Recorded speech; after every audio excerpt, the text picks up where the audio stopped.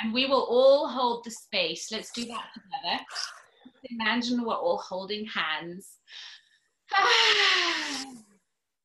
And let's let's ground ourselves down and really feel that beautiful connection to Pachamama, this gorgeous planet, saying thank you for everything that we have, all the blessings we've already received. Let us say thank you for all these beautiful conversations we've had, for all the connections that we make together. Let's connect our crowns to the sky and imagine that we have this bright white light take coming in, pulling us up, reaching up. Let's get our spines all long. And breathe and release.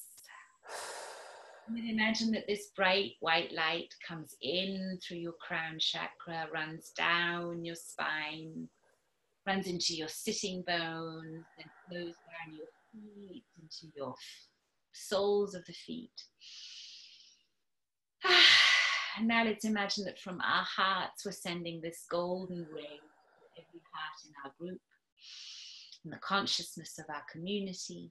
We ask Christallin to bless us and to help us manifest and draw in all the good that we have been talking about in this session, all the good that has come up for every single one of you in this time together.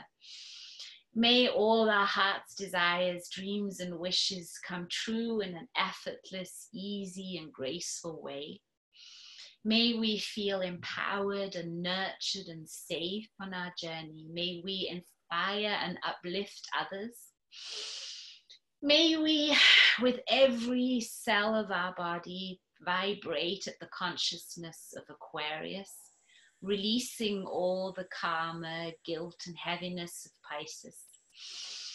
May every breath that we bring into our bodies heal and nurture us, connect our divine blueprint with our DNA. Ah, that feels so good. May this bubble of golden light surround our bodies, our auric field, our community, the consciousness of Christallin. And may all of us here and whoever hear this recording have an amazing day or night wherever they may be. Take another breath in. Feel that light into your heart. Press your space.